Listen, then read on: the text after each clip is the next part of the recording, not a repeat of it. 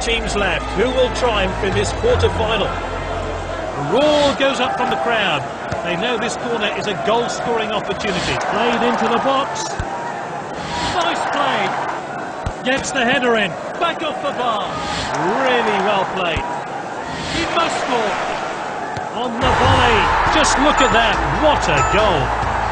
That's a great performance from this team, and they are through to the next round.